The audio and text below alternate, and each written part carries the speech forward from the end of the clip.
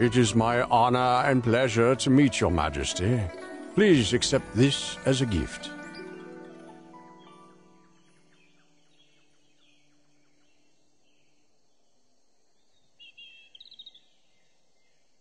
These are renowned oils from Italy, great for distressing and relaxation.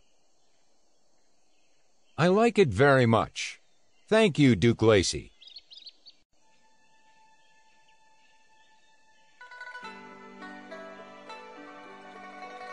The Duke is very clever and has a knack for finding out other people's preferences. Did you work with him back then, Consort Chuan? Yes, he knew everything about me without ever setting a foot in my palace. I dismissed the fact, but that was before. I realized the White Mountain embroidery scroll is more than what it seemed. Thankfully, you backed out just in time to avoid the disaster. It was all thanks to you, of course. But now you're stuck.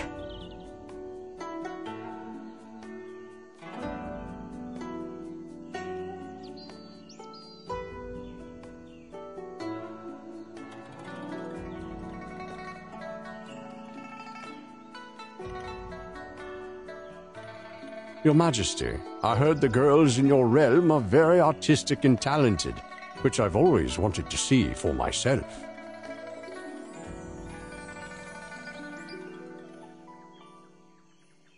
It's a shame that it's against palace protocol for the harem to perform in public. But Lord Chen's daughter would be able to, if she's willing.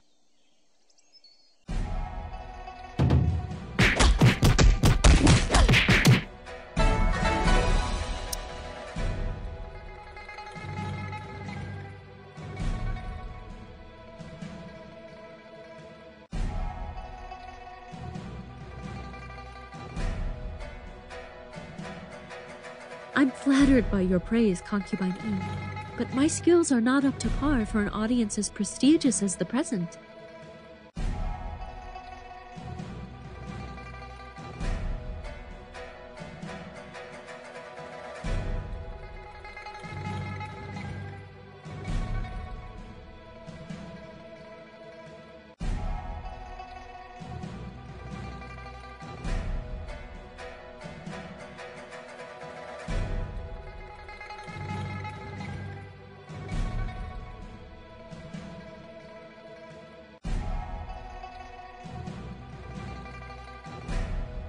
You can do this as a favor for the Duke, and a gift to your new godfather as well, Wanjun.